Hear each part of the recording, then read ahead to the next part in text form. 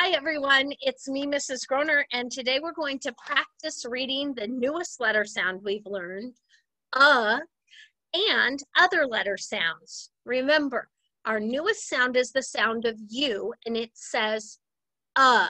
When you say, uh, my mouth opens and my tongue stays down.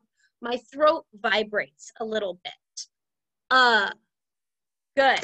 Let's go ahead and take a look at the letter sound page.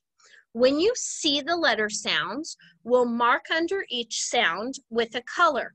When you see the color go under the sound, we'll read it together. Let's begin.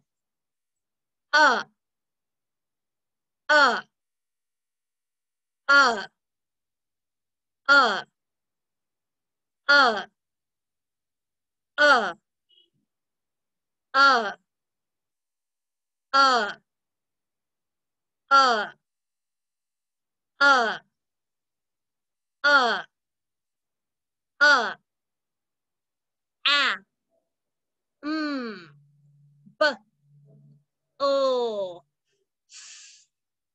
ah, uh, s, g, uh, h,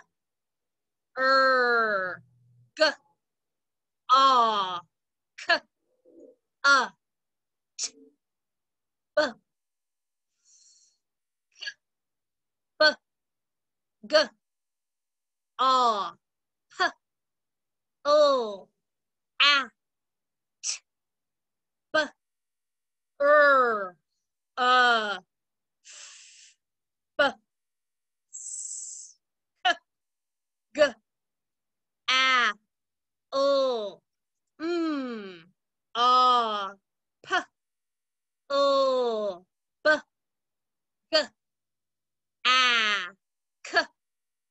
Uh, ah, s, b.